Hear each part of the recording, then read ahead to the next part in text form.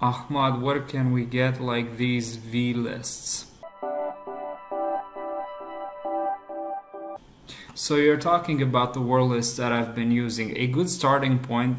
Uh, so I'm gonna tell you from the very start that uh, no actual bug bounty hunter or penetration tester is going to share with you their word list because it's actually sharing with you their slice of bread, as we say in Romania. Um, they might point you to places where you can find word lists, but nobody's gonna share with you or give you their private uh, uh, word list that they've been working on for months.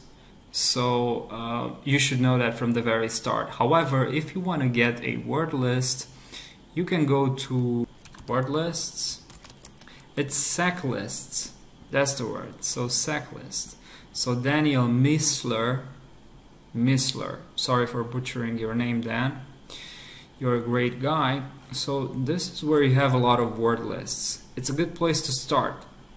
Depending on your purpose, take a word list from here and modify it accordingly so that you have your own uh, original sort of like original approach to a certain target. In this case, if you approach your target with your own word list, chances are that you might be more helpful in having results that are different from other researchers and this actually increases your chances to find a bug if your word list is really good.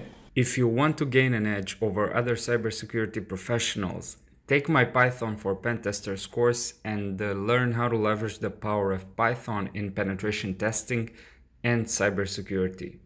Link in the description.